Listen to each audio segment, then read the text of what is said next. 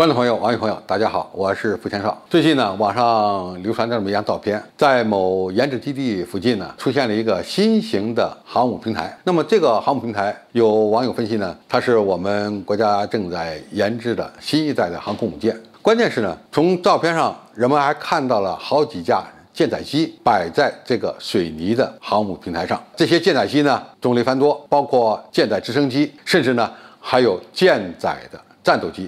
这个舰载战斗机不是歼十五，而是从来没有露过面的一款具备隐身能力的中型舰载战斗机。那么说明呢，我们国家正在紧锣密鼓的研发新一代的航空母舰和新一代的。舰载战斗机，当然摆在这个水泥平台上的舰载战斗机是一个模型，而不是真机。但是呢，它的外形以及相应的尺寸呢，和真实的未来的舰载战斗机呢是一致的。为什么要把一个飞机的全尺寸模型摆在一个全尺寸的航母平台上？他们要干什么？要做什么样的实验呢？我个人看法是要做一个舰机的适配实验。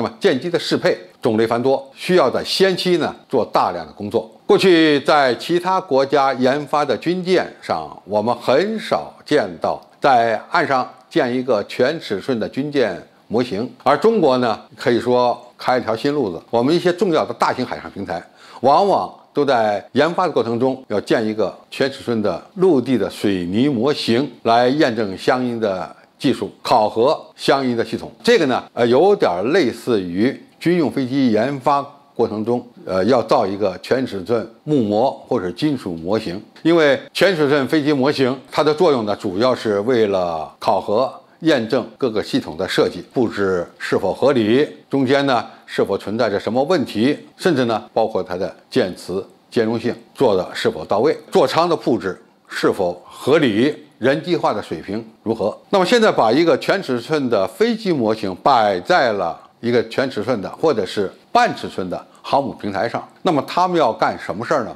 前面说到，有可能舰机的适配，这是要做相应的工作的。比如说舰载机，特别是舰载战斗机摆在航母的什么位置，它能够摆的数量更多，怎么在甲板上进行运作，这些都是要先期考虑的。这里面包括舰载机在哪起降。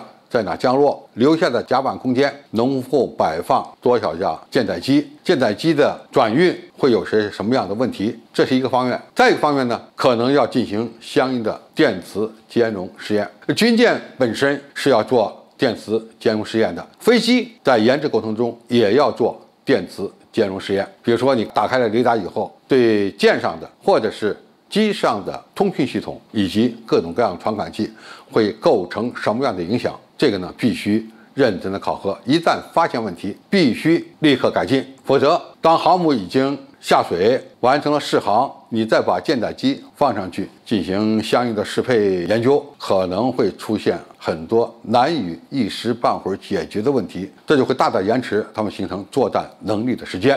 那么，如果把这些工作先期做完，尽早发现问题，尽早进行。相应的改进改型，有可能呢，快速的使这两种平台啊都达到作战的要求，而且呢，双方之间的工作呢互不干扰，环境呢显得更加友好，这对保证航母的正常运行以及舰载机的起降安全意义非常重大。在先期做好这些工作之后，我想这些工作做好了。中国下一代航空母舰的发展，以及中国下一代舰载机，特别是舰载战斗机的研发进度呢，将会大大的提前。那么，从而呢，迅速形成作战能力。这一点应该说是中国研发新型武器装备平台很重要的一个经验。而这个经验呢，从国外我们目前见到的比较少，也可以讲吧，它是。中国在武器装备研制领域的一个重要创新，这个创新有助于推进中国水面舰艇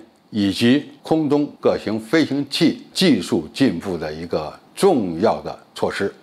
好，今天介绍就到这里，谢谢大家收看。感兴趣的朋友，我们可以在下面的留言区留言交流讨论。我们下期再见。